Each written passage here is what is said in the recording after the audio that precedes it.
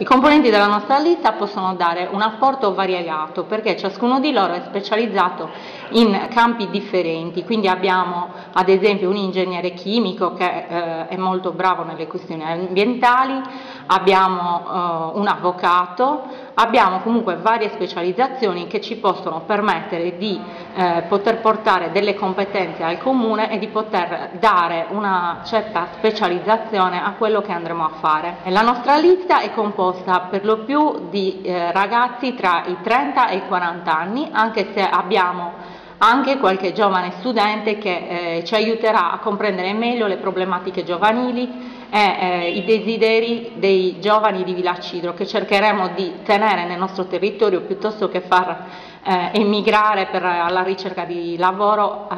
all'estero o in continente. Nella nostra lista è presente una buona percentuale di donne e infatti pensiamo che questo apporto sia molto importante perché la capacità organizzativa e le competenze delle donne possono veramente poter fare la differenza anche nell'organizzazione del comune. Potenzialmente dovremmo essere la lista eh, più giovane,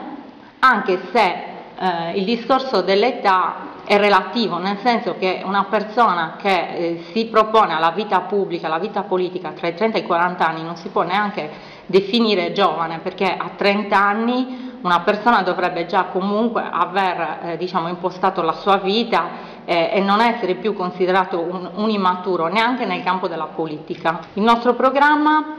prevede eh, una suddivisione eh, delle attività per obiettivi. Noi abbiamo scelto infatti di individuare prima quali sono gli obiettivi da sviluppare e poi per ciascun obiettivo abbiamo proposto delle possibili soluzioni sulla base soprattutto di quanto emerso dagli incontri che abbiamo fatto con le parti sociali e con i cittadini prima della presentazione delle liste. Riteniamo che eh, il programma abbia una parte diciamo, principale che riguarda le politiche sociali perché eh, riteniamo che siano un'emergenza del Paese e eh, il, il Comune deve tenere in dovuto conto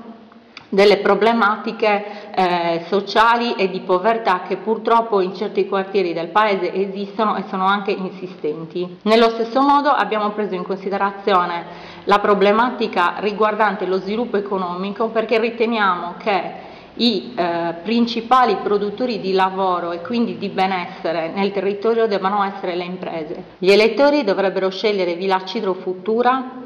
soprattutto perché rappresentiamo delle persone credibili e possiamo dimostrare che eh, anche quanto scritto nel programma è fattibile, è raggiungibile perché ci siamo posti il problema del reperimento delle risorse, ci siamo posti il problema di come poter effettivamente realizzare i programmi, ma soprattutto eh, noi eh, siamo delle persone che intendono mettersi a disposizione del eh, cittadino e eh, con la loro serietà, con il loro impegno e eh, vogliono dimostrare che eh, l'amministrazione pubblica può andare bene, può essere efficiente e i risultati possono vedersi.